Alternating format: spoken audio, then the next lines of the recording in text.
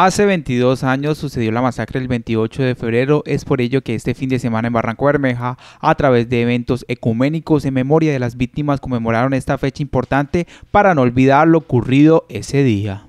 Han sido 22 años en los cuales seguimos recordando con mucho cariño y afecto a estas personas que fallecieron injustamente. El mensaje de la alcaldía distrital es seguir recordando con alegría, con emoción y que su memoria perdure para siempre, sin olvidar que estos hechos que enlutaron no pueden quedar en el olvido. Alice Vélez, víctima de esta masacre, entre lágrimas y su voz quebrantada, dio a conocer que estos hechos no pueden quedar en la impunidad para que haya paz y reconciliación en la ciudad. El propósito es recordar los 22 años de la masacre, de la barbarie que hubo aquí en Barranca Bermeja, en los barrios orientales, y hacer memoria que estos hechos no pueden quedar en la impunidad, que estos hechos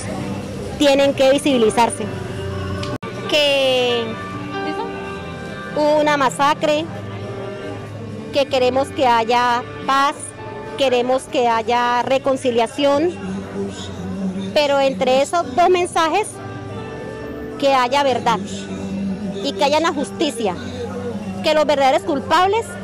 paguen por las consecuencias por el acto de barbarie que hicieron. La Comisión de la Verdad también hizo parte de esta conmemoración con el eslogan Un minuto de vida, que consiste en un mensaje que tomen conciencia a la no repetición y reivindicación de los derechos de estas personas. Para las víctimas, sembrar árboles es sembrar vida. Es el reconocimiento a todo el afrontamiento que ellos han vivido y ese afrontamiento que florece y ese afrontamiento que recuerda en la ciudad